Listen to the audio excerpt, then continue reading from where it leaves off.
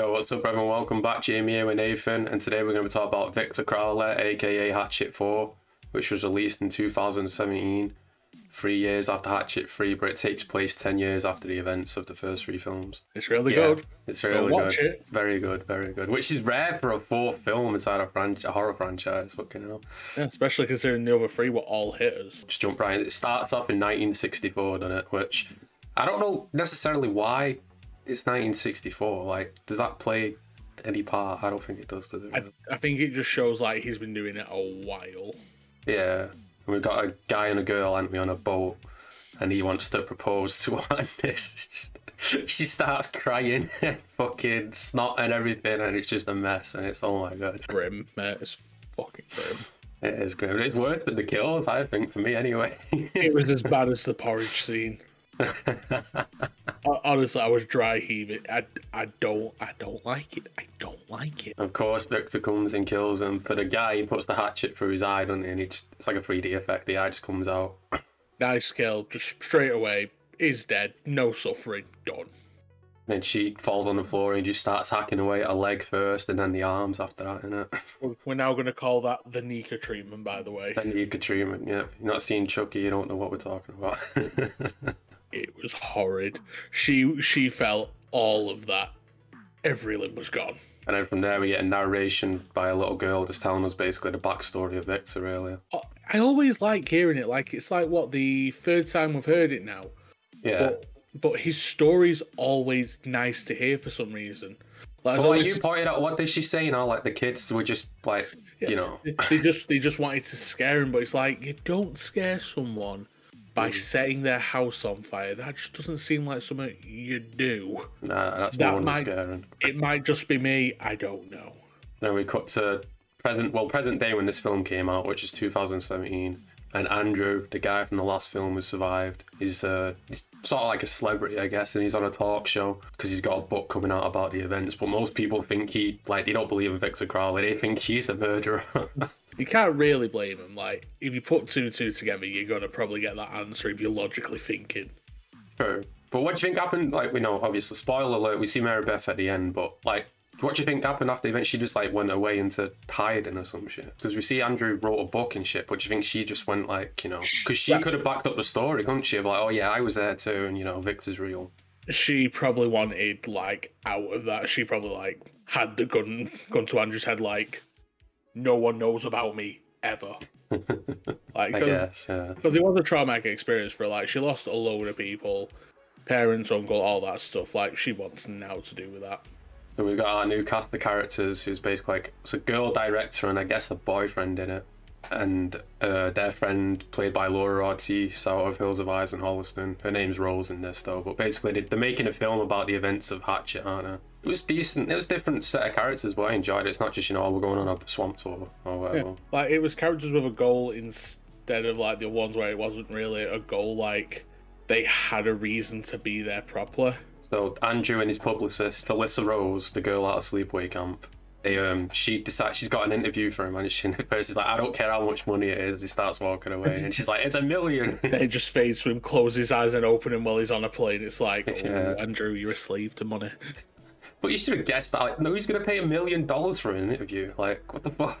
We get a cameo by uh, Adam Green and Joe Lynch. They're the pilots on the plane. So you know, because Adam Green was in the other three, but obviously he couldn't play the same character ten years later. Like what? He just went from an alcoholic to a pilot. You could do. You don't know his recovery story. I guess. I. I think it's a different character though, but you know, they got the cameo in, which is good. The filmmakers arrive inside the swamp, don't they? Because they're making the trailer there, and they've got an actual actor. His name's Dylan, but he's the guy out of Scary Movie and all that. And he, he steals the show here, man. He really does. he was one of in two of the best characters was Rose and his character Dylan. They were just Hmm. so enjoyable. Like Dylan's character was meant to be a dumb idiot, but he wasn't irritating. He was an enjoyable dumb idiot. Like no, you were rooting for him. And he's like playing all different roles and shit, and, and he's just like, there's so many. I'm not even gonna quote most of the lines because it's just funny. what is it? They get the uh, there's a curse, isn't there, of Crowley, and like Yeah. people have been doing it on YouTube, and she's like, oh yeah, get it up so you say it right for the film, and then that's basically what causes Victor to come back, really. but while they do that, it, at the same time, it causes the plane to crash, doesn't it? because they're filming their trailer. They're trying to get there to film the thing. It's just the stars align a little too perfectly for. Yeah, they put the phone down, don't they? And we get a little cameo of Reverend Zombie Tony Todd, which he filmed 2002 was the date on it, so obviously it's before the events. But oh, that was cool as well to get him in there. Oh yeah, little throwback to good old zombie. The swamp has turned into like a tourist attraction now. When they do like tours through it, so they got like set up lights that keep going on and off, and they play with this very well because the two of them are inside like the uh, weapon shed, aren't they? It's just like no one's here, no no one could possibly hear. Light comes on, empty space. See, there's nothing there. And then as the light comes on, Victor's already in mid sprint, and it's actually a decent-ish jump scare. Yeah, because the guy's like halfway through his sentence and Victor just jumps in. See, there's nobody even there. Mm, And it's but he just gets the hammer and he goes to town on that guy's eyes. Holy shit. Like he's alive, like he is still alive, but his eyes sockets have been caved in, so it's literally like a dip where his eye should have been. Mm. And then he just decides to spin the arrow and just pop his head off like a cork. and the amount of blood they used for this single kill was a, a devious amount. The rest of the characters are hiding inside the plane, aren't they? Because it can only can open from the. Is it the inside? From the inside, yeah. So they're all hiding in there. But one of them, who well, we haven't really mentioned. You know, there's like the interviewers on the plane. And she's got like what, like a makeup person and like sound and all that. And two of them together, aren't they? One of them's pregnant. Yeah. And she's stuck underneath the chair while the water's rising. Although I don't know how she got stuck underneath the chair because it's literally just one scene she's not, and the next scene she's stuck. But Mm. if my memory of how basic things works, realistically, you don't need to lift it up. You just need to be able to lift it up, give it a little, just enough of a ledgeway for it to slide out. I fully believe she could have escaped that. I've never got a clear shot either because we were questioning one like, what is it? That's and she eventually says it's a chair. Yeah. All she ever, all you ever see is her neck down, going, "I'm stuck underneath the chair." Chloe, the director of the film, obviously her boyfriend got killed with a hammer. She arrives at the plane, doesn't she? And you get that sick shot because obviously she can't hear because of the window, so she's walking towards the door and Vix is just slowly behind her. Oh, I, I fucking love that. it's so good. Chef's kiss. And he smashes her head through the window and he drags her into like the moonlight to use her as bait, basically. Which, oh my, he just he's smart, Victor. He's not just some you know hulking fucking guy, you know. Out of all the Victor Crowley things, uh, Victor Crowley movies, the Hatchets, this is probably where he looks the most evil. I don't mean that in a visual aspect, because to me, number three, that's when visually he looked the most evil. But the way that he does things and the way his movement, the way he'll stare, he acts the most evil in this one. Like Yeah. it sets across of it's not not a man, it's a monster. So Crowley's waiting on top of the plane, which is really good as well. He's just stood on top of it, and the publicist runs out to try and get a phone connection. And this kill right here, holy shit! He drags her arm off, and then It's time for a fisting. from the bottom all the way through to her mouth with the phone still inside her hand. The girl who's using his bait just literally stomps her head in while fucking Rose watches. It's the perfect stomp as well. Like he does it so the bottom jaw's fine, but all this bit is gone. One thing that I will point out that I still think is funny is going back to the um, arm through the whole body kill. It has them all react to it, but when you get to Rose, she just throws up on the window. and then we get it's kind of a sad death, like you said, and the girl drowns, doesn't she? Every kill in the Hatchet films always feels like aggressive, hyper violence because Victor's over there just going ape shit. But the girl dies because the plane is at an angle, it's slowly submerging. And she is forced under the chair and she's just slowly dying because obviously she's drowning. And you don't hear her going bubble bubble. What you actually hear during this death is Dylan's got holding a hand and he's screaming because he's feeling her grasp get tighter she realizes she's dying. And from a film that's usually full of ha ha funny gore, this is quite a sad kill and it's really some. It's done really well. Better than most deaths in other films. True. I think the characters are definitely the strongest, like Yeah. inside the series, there, aren't they? Definitely. Yeah. Definitely strongest. And we get a, you know, to lighten the mood, we get some funny interaction between them on the plane, don't we? When it, like, Dylan keeps ringing us like, what if he just comes back every ten years? He doesn't. but what if he comes back every? Have you got a different idea that's still not dumb? Again, we said it before. Dylan is a star in this show. hmm And then, um, what is it? From the weapon shed, there's the belt sander in there, and, and Rose is like, I hope no one left the belt sander lying about, and then Victor just brings it to get through the door. Belt sander is such a good weapon in this thing. Again, I'm happy they call it hatchet and not belt sander, but I love that weapon in this film. The, he gets so much use out of it, and the kills are always great. But Dylan has the plan to turn on the engine, doesn't it, to kill Crowley, so he goes into the cockpit.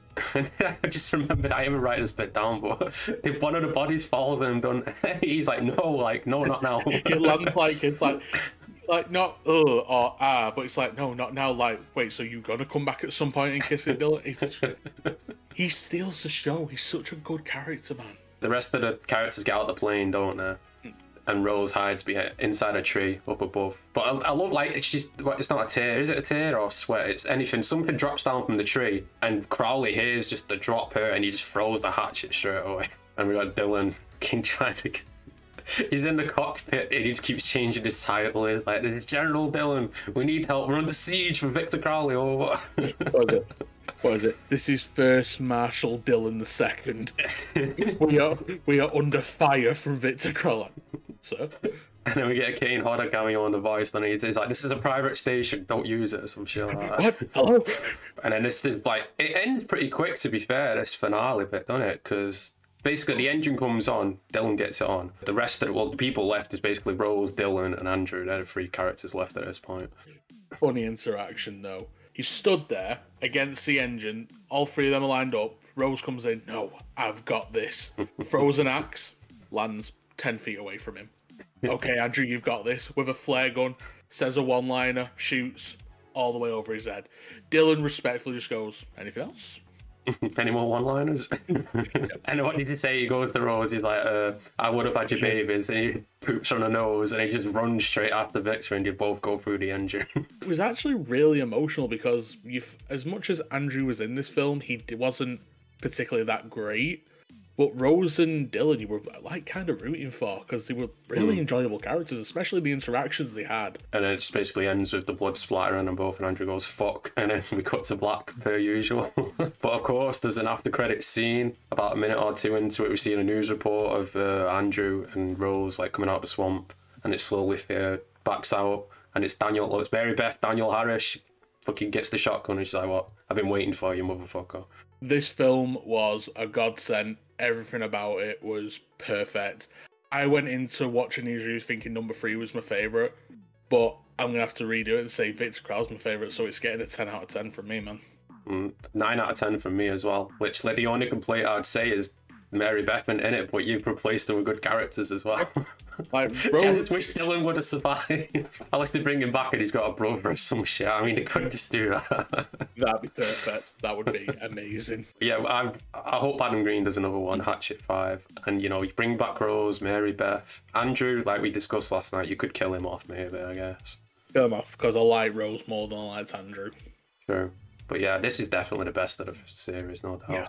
But let us know your thoughts and opinions down below. Make sure you like and subscribe if you're new. Check out Nathan's social links as well. Until, well, this is it for now. Until Hatchet 5 one day in a bit.